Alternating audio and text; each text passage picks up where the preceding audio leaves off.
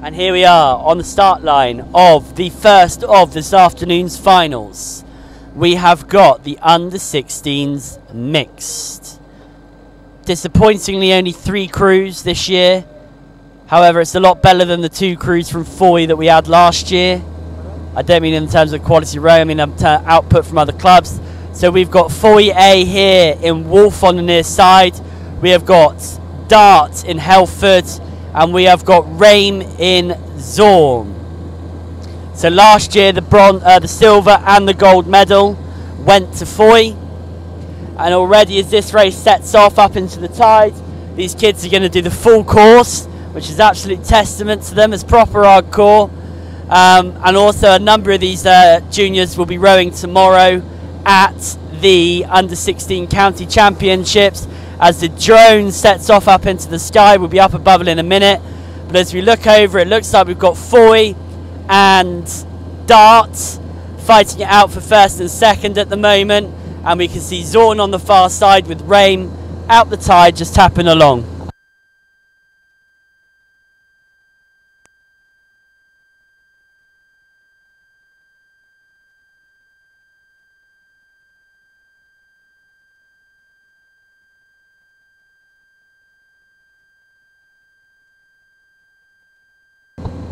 And Fowey and Dart just eke out in front of Rame here. Pretty level at the moment though between Fowey and Dart. This is a good race. You can see though that uh, both crews, Fowey have really just settled into uh, what we'd really expect from a Fowey crew at this stage of the year, which is really highly technically competent rowing. You can really see that they um, get hold of it. And uh, we talked a lot about the uh, under 14s, about junior coaches really teaching kids how to row around the finish, how to shape their body at the finish, how to press the blade out nice and cleanly. Um, and that's what this Fowey crew do really well.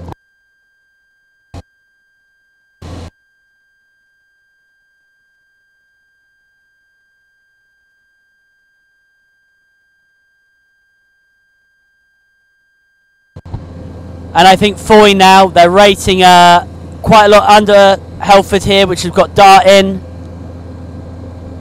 And you can just really see that they're really expecting in this race just to be able to uh, inch by inch open out over this Dart crew. You can just see the Dart coxswain now just using some hand signals just to sign to her crew. Perfectly okay with that in a junior crew just to help bring them back under control. The shape of your hand can be really useful in mirroring what you want from a crew. But we are probably now halfway up this first leg. It's this first leg that's going to be tough for these kids because of the tide coming down the track. And when they turn back, but there is now a small bit of headwind now that these guys are going to have to contend with. So we've got three under 16 mixed crews.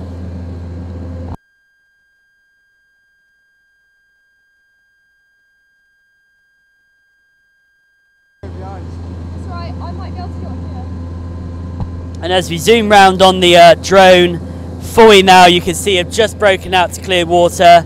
The strategy of just rowing nice and long and loose has really, really worked.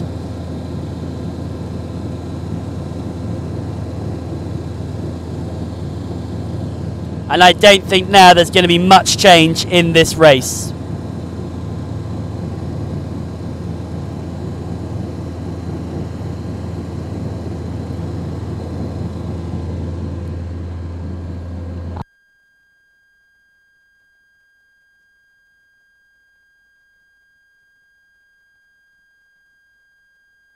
And we're now probably halfway down the track. Fowey now opened up to clear water, Dart in second, and Rame in third. I mean, one of the best things about this race is every single one of these uh, boats is going to pick up a medal, and I have to say they are banging medals this year.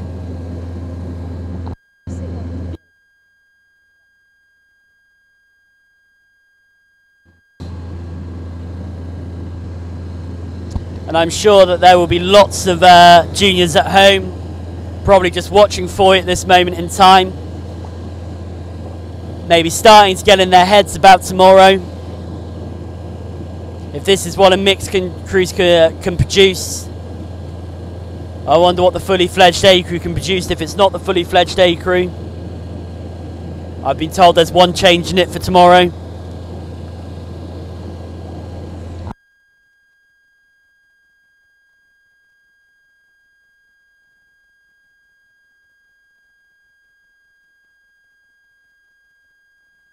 And we are now charging towards the sixth length marker. I can't see a lot changing with this four-week crew at the moment. They're perfectly in control of this race, Roma Salcombe boat. Helford with the Dart crew in second. And unfortunately, we've just lost Rame off the back of this race a little bit. We will catch up with them in a moment, just as we come to the sixth length marker, where our umpires, Justin and Steve, have been doing a great job all day. Sat out here making sure that all the racing is fair.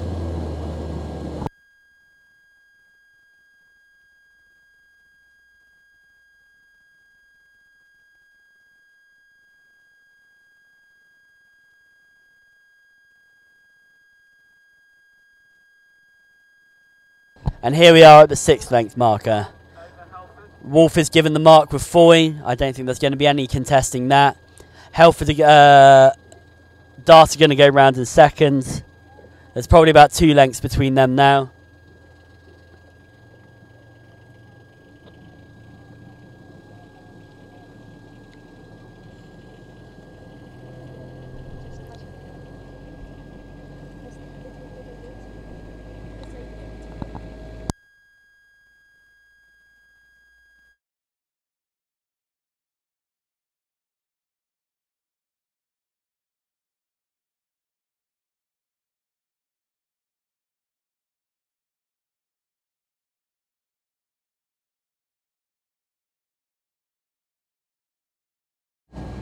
And they go around the buoy, they knock it over, and they're back in together.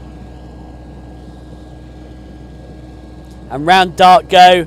Oh, I thought we were going to get a bit of toss in there up in the bow of Dart. I thought she was going to be brave. Hopefully we see some tomorrow. Getting that oar up and over, getting that stroke side round. And then the Rame crew are just going past the umpire boat now. They're probably four lengths away from that mark. But we've got all three of these junior crews doing a great job. I have to say, I think it's a real shame that there aren't more junior crews here. We might say that they're saving their energy for tomorrow, but we definitely have to put it on our calendar for 2025 that the under 16 mix is definitely a thing and that it's definitely a coveted medal that we want to pick up across the season. We can't be in a position if we're going to safeguard the future of our sport where we've got two crews entering this last year and three crews entering it this year. Unfortunately, for me, that's just not quite sustainable. And so all clubs need to do their bit in encouraging their junior sections, but also getting them up here to race.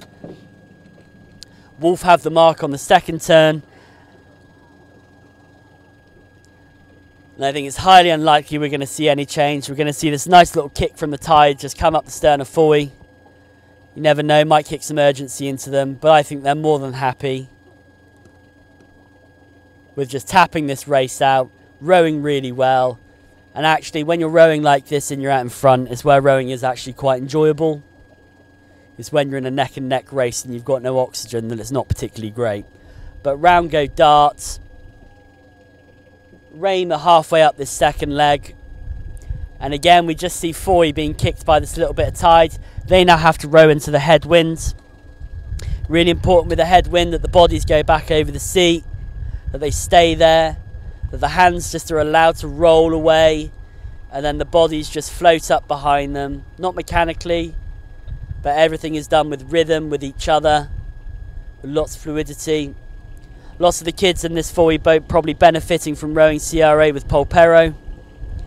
And as we always say, some of the best rowers on the gig circuit have also come from the flashboat circuit as well. So if there is any club that is wanting to develop a junior section or is wanting to improve their rowing in their uh, junior section, then I would firmly uh, encourage you to get in contact with your nearest flashboat club uh, to see if you can connect up and we can get more kids into rowing fixed seat boats really, really well.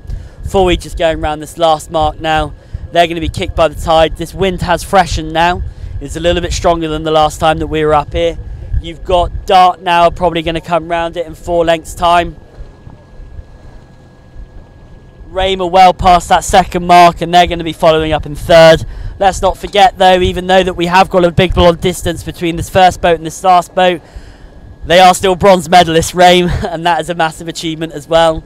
County under 16 mixed champions, bronze winners.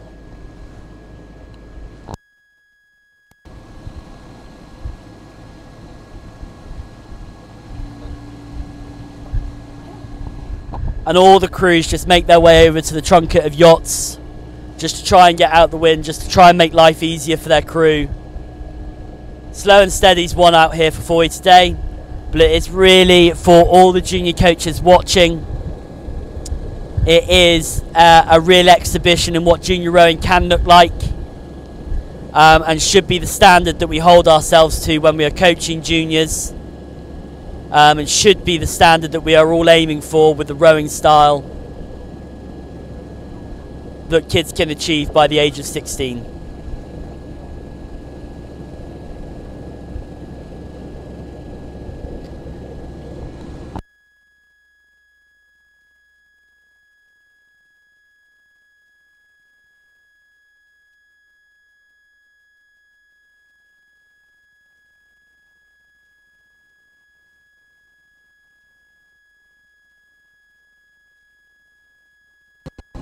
Lots of cheering from Rame on the comments at the moment. We're, we're with you.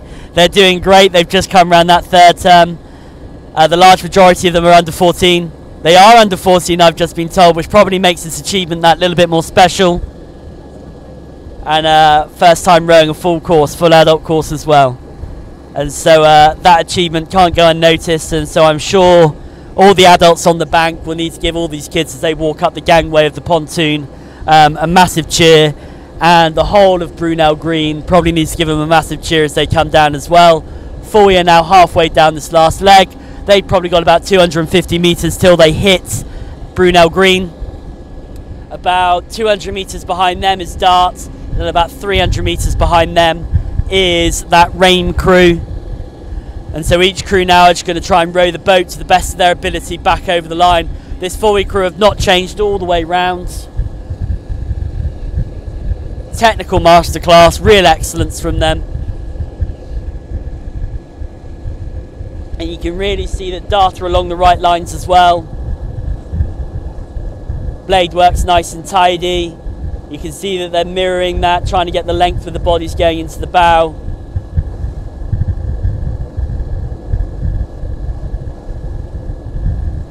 And so as always with junior rowing, it's taking every single race as a learning experience. Yes, medals are important and they're all going to pick up one today, but would fully encourage every single one of them to look back at the video from today, pick up what the crews in front of them are doing well, have a little look at what they're doing as well to see what they could improve on. It's all we ever did as kids. Just continually picking up and learning how to make boats go really, really fast. And whether that's in a gig, whether it's in a flash boat, whether that's in a, an eight foot punt tied to a rock on the beach, you know, ultimately we've got to get more kids into rowing. We've got to get uh, more to keep them in rowing. And we've got to do more to make them row well. Because ultimately there is real joy in rowing a boat really, really well. Fowey now about to come down into contact with Brunel Green. You can start to hear the crowds on the beaches cheering for them. Beaches, it's a green.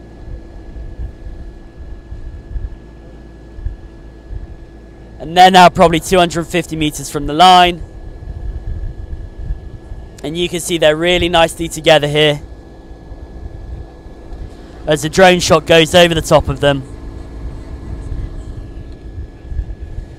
And they just enjoy the flat water here for what's going to be their last 20 or 30 strokes.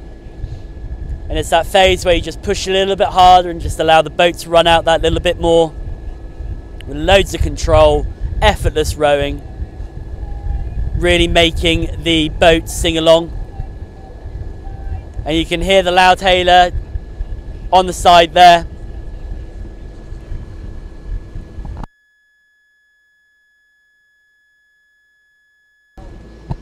And our resident junior coach on the stream team here gives her, her cheer to her crew as she sees them over the line. I'm sure she's gutted she's not coxing them today. But here they come through the line. Fowey under 16 mixed champions 2024.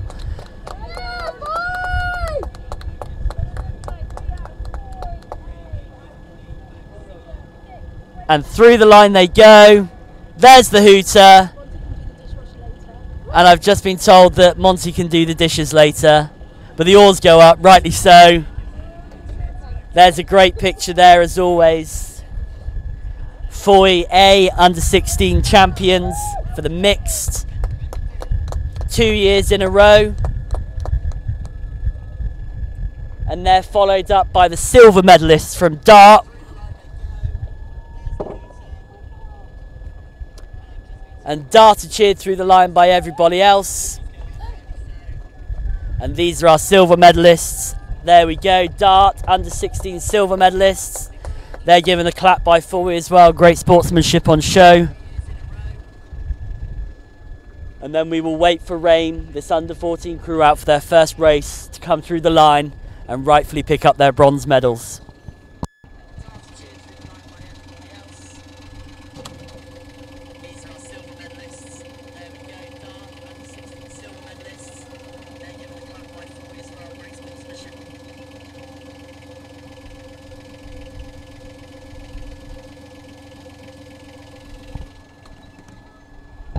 Probably still 250 metres away, just coming through the end of Brunel Green.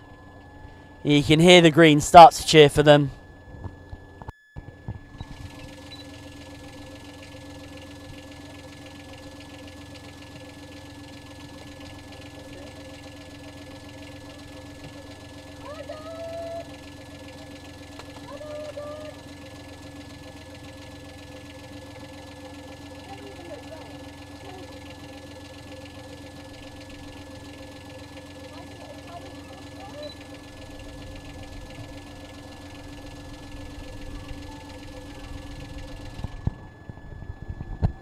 Here come Rame, bronze medalists. 2024, over the line they go. And we have our under 16 mixed final wrapped up. First place Fourier, second place Dart, and third place Rame. We will be back with you live shortly for the next final this afternoon.